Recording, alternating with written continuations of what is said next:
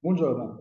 Quali sono gli strumenti giuridici che si usano in sede di pianificazione patrimoniale e quindi in sede di definizione della più efficiente intestazione del patrimonio, ovvero di pianificazione del passaggio generazionale o ancora di protezione del patrimonio dai rischi di aggressione? Ebbene, gli strumenti giuridici che si possono utilizzare sono molteplici, da quelli del diritto societario, la società semplice, le società holding, le società cassaforte, alle polizze di varia natura, polizze index o unity linked in particolare, ovvero alla donazione o al testamento. Per quel che riguarda la donazione bisogna sapere che vi sono moltissime modalità con cui può essere effettuata. Il patto di famiglia, i trust o altri strumenti giuridici più evoluti e particolarmente efficaci.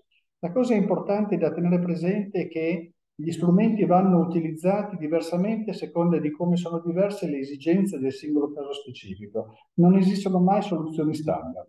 Pianificare è possibile, pianificare bene crea moltissimo valore, ma pianificare le problematiche relative alla gestione e alla trasmissione del patrimonio richiede tempo, attenzione e soprattutto un'elevata competenza. Buongiorno.